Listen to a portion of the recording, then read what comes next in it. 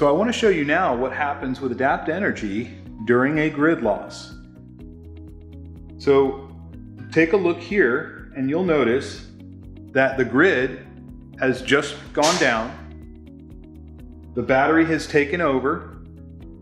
We've lowered our shade so that we can keep the ambient temperature down. Our music that was playing is going to shut off.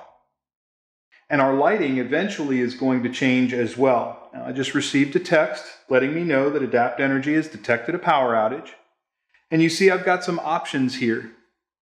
I can choose to turn most circuits on, turn comfort circuits on, or turn essential circuits on only. Now in this case, I'm going to say I don't know how long this is going to last. So I'm really only going to worry about my essentials only. So by pressing essentials only, you'll see that we've turned off quite a few breakers.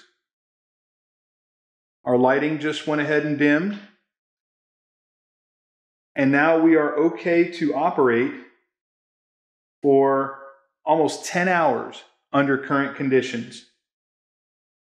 So as you can see by looking at my phone and looking at the iPad, we are still off grid.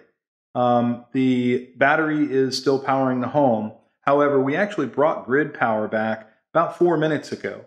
And the reason why we don't have power yet is because the Sonnen battery is doing a grid check. It's got to check the grid for you know good power, basically within spec power uh, coming into the home, and it's got to watch the grid for five minutes straight for perfect power. If at maybe two minutes and 30 seconds of it watching the grid, it sees a power blip or something like that, it's going to restart that timer. Um, we probably won't have that happen here. Uh, so uh, in about you know 30 seconds or so, you'll hear maybe hear the automatic transfer switch fire in the Sonnen battery, and it will take us off of the microgrid and put us back on the grid. Just for the sake of looking at it, it just fired. The home is going to return back to normal, which means my shades are going to go up, my lights came back on, because I had music on earlier, my music will return, and you'll notice the breakers are also coming back to life.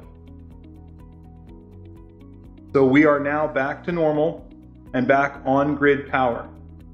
And that's what you can do with Adapt Energy and a home automation system like Crestron or Control 4, because Adapt Energy does communicate with both of those. I also did just receive a text that power is being restored.